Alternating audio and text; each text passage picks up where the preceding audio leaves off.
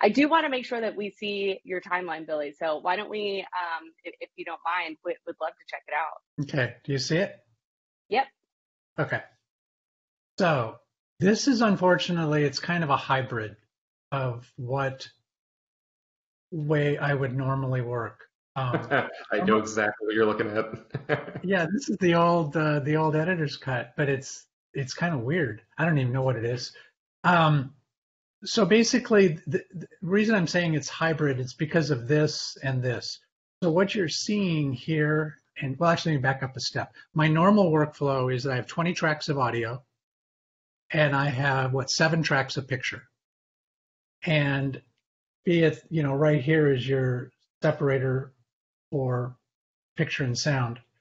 Um, the basic rule of thumb for me is that I have four tracks of uh, production audio, and then I have four tracks. The bottom four tracks, um, these four are music. Those are those are music, and these are um, production audio. And then all of these tracks, track track five through 16, is effects, sound effects. And it's it's a gospel. You never put, and you actually, well, you can actually, but you don't put, you would never, you would never do this.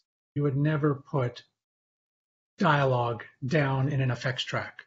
Unless you for creative purposes wanted that sound of the dialogue with echo to be out here. Maybe you do.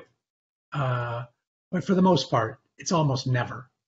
Um, so this is this is production this is sound and this is um, sound effects uh, i'll explain these weird tracks in a minute because it's normally not like this and i'll explain in a second picture wise this is a weird it's not normally like this completely um, tracks picture wise one, two, three, and four when I'm first starting to cut um, is uh, camera negative. And it's where I do all of my editing. And I'm very much into, I don't edit on one track, even though it looks like I do here. It's really not the case. Um, I put things underneath and constantly overlapping so that trimming is actually easy because I can just grab one thing and I can move it around very easily. It's just how I've worked forever. Um, it, it makes things, and I also checkerboard. All picture is checkerboarded for the most part, and all dialogue is checkerboarded. So that if I have, let's just say, I have this, and I want to make this tighter, this isn't going to work, but just so you get it, all I have to do is that. I don't have to trim this. I don't have to trim that. I just, and so one like happens on top of one another. It's just a way of making and having a, a maximum flexibility. The checkerboarding thing is really, really important. Uh, the other thing that I do uh, is that I use, how do I explain this? I use multiple video tracks to lay in alternate versions of a cut. So that, for example, this is going to be kind of ugly, but let's just use this as a test. Those are turned off. So here's the cut that, you know, they're looking at, those two edits right there. That's great. Now let's just say I go to the director, hey, I have an alternate version. All I have to do is that. Now there's an alternate version. And I do this a lot. And I also do it if we've made a change. Let's just say this is the way I did it. Now the director comes in and now we do it this way. I don't get rid of my old version. Now I know I can get it in an old cut, but I don't get rid of it. I just put it here because oftentimes director will go, Hey, do you remember that version you had on that one line where the dialogue was a little tighter? What do you mean the one that we did five months ago? Yeah, that one. Well, I mean, I'd have to go back and look for it, and oh my God, and I, all I have to do is this. Well, actually, it, would be this. Boom. You mean this one? And uh, it's great. And uh, and sometimes what I'll actually do is, even though this, the cut may be shorter or longer, it's really the in that I'm interested in. I'm interested So even if I have to trim this side of it, it's fine. Okay. So now what's this weird stuff? This was the stem from the dub stage music, and this is the the the uh, the stem from the mix stage sound effects. So normally I would have all of this would be broken out, broken out, broken out. All of this is separated, so it's you know a million little clips. But once we hit the dub stage, I throw away all this shit, and then they give me a new stem. So that's what you're seeing here is these are the stems from the dub stage. And I don't have a cut that I can find unless you can find it. Um, Russell, I don't, I think this whole cut is all stems. Yeah, this was, uh, this was, yeah, after we had, we had, it's actually Yeah. sort of an interesting thing to see. You're sort of seeing how when you go to mix and then when you come back from mix, um, if things start to change, if the cut's changing, uh, Now this is a weird with one. mix non, you know, mix and, and production audio hybrid. So normally, normally, if if we've gone to the dub stage and they had mixed, I would have a stem for the dialogue. And what would basically happen is that we would keep a version of this down here, but these tracks would be turned off. So you can't hear them because I need to be able to get back to the original production sound. This would be as if, this is the bad example, but it would be kind of like that. And then, of course, this would be gone. This is the way, this is what you would normally see. This is your dialogue stem, your effects stem, your music stem. And Yeah, this this- is something that you really very rarely use, but you have to keep it because the sound department needs it for their world. Yeah, So it's a big pain in the butt. If I'm making changes here to uh, picture in this area, I have to make sure that the the invisible tracks also, whatever changes I make up here, have to be represented down here, and it is a nightmare. Uh, the other thing is that we would normally have. This is again not real, but it just shows you what it is. You would have a picture stem up here, and this is the color corrected stem, and Russell would color code it to be a different color so it sticks out. But it this and all of these represent the exact same thing. So this is color corrected, and all I have to do is turn it off, and I'm seeing the uncolor corrected image. So that's kind of a long, kind of. So we do have a, a follow-up sound question. How often do you send uh, your these over to the sound editor, or is it all done at once? Russell? So, no, yeah, yeah, that is that is that is uh, a, very frequent occurrence, and Billy's timeline is a good is actually a good example of you'll start to see as as we move into the finishing side of things, you'll start to get what looks to be these redundant, destructive tracks that you know we're getting them from mix, and they are now baked, and they have all the all the you know all the sound work done to them, uh, but they don't they won't travel back to like their source at all, and you can start to especially with dialogue, it's like if you don't if you're not keeping track of those lower tracks and making sure you have the original production audio, you'll really rapidly start to lose lines. And someone might say, like, you know, this line, do you remember what take this is from? No, it's No. it's gone to the, the nebulous void. There's no way to get back to it.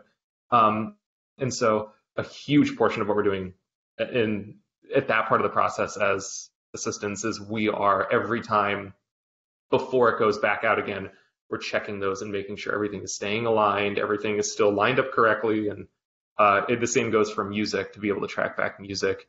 Um, but that's all to say, yeah, we we will. Whew, actually, let me see if I have it up. I mean, we were turning returning those back over to sound.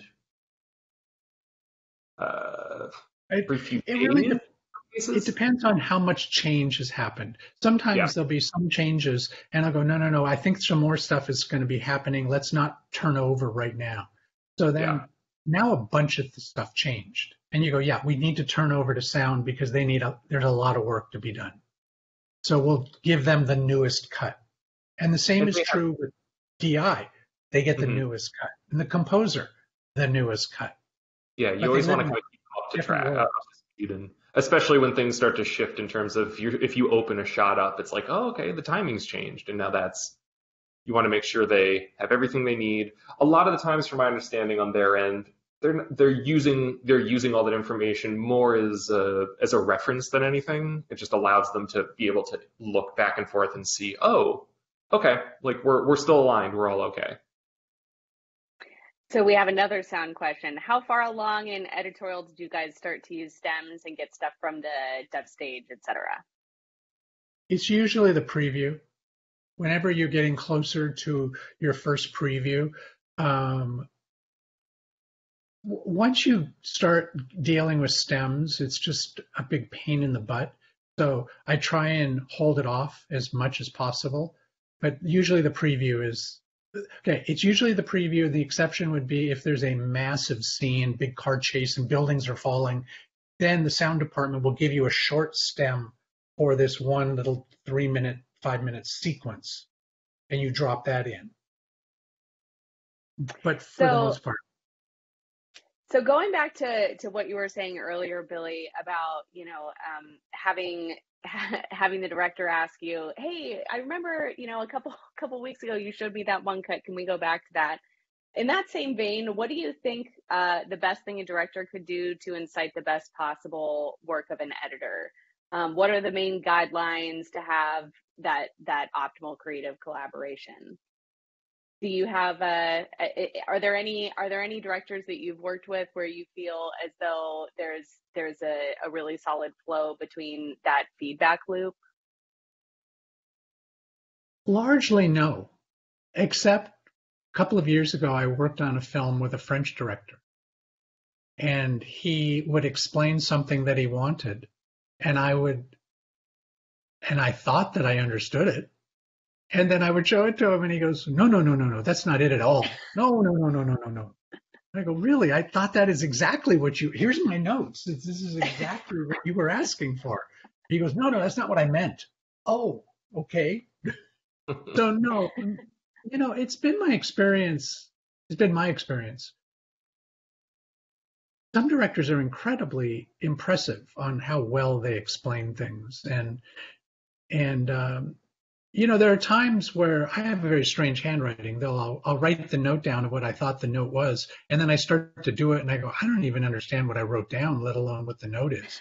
I'll call the director and i'll go can you explain this again to me? Because i really don't get it because if it's just a mechanical thing like shorten this shot eh but if if the director explains it on an emotional level, on why, or maybe he wants more pace, or maybe then you're understanding what they're looking for, not the, the mechanics of a specific, you know, just make that shot shorter. Okay. So I know we're getting close to the end of our session here, and I know that there's a lot of aspiring editors and students and faculty in the audience. So I do want to pose this question to both of you. Uh, maybe let's start with you, Russell. Um, you know, what, what's the single best piece of advice you could give everyone listening today? Um, you know, how, um, if you could go back in time uh, to when you were first starting out, what do you wish you knew then that you know now? Um, you know, I think a big one is uh, be excited about what you're doing and let people know you're excited. I think I think like some people, I think I know when I first started, I was like, keep you know you're, you're it's like you're being quiet. You're just doing you know you're doing your job. You're just doing uh, you're you're getting things done. Um, but oh dear, uh, fire truck going by. But I think it's not it's, too uh, bad. yeah, okay it's uh yeah, it's important to to to you know you know make make clear that you know you're you're sort of you know you're excited to to be part of a project. You're excited to to you know learn. You're excited about the content of it, and you know be interested and I don't know uh, that that kind of that kind of thing. I think is is is is really important. Um, what else? Uh, I'd say the other ones. Uh, you know, uh, learn. Uh, I think another big one is you know be organized and kind of really learn strategies on on you know tracking to do items and really keeping track of what you're doing because you're gonna you're gonna be pulled in a million different directions and your brain will not handle it. You will never keep everything you're trying to do in your head. It will fizzle and dissolve and yeah. So so really getting good at sort of tracking and task management important. Yeah, I second that. Organization is key. Billy, what about you? Um, I believe uh, I feel very passionate about post production. I feel very passionate about editorial and the entire process, be it sound, editing, all of it, because all of it is editing, all funneling together. Um, if if editorial is your passion and editorial is where you want to go, be true to it, and don't.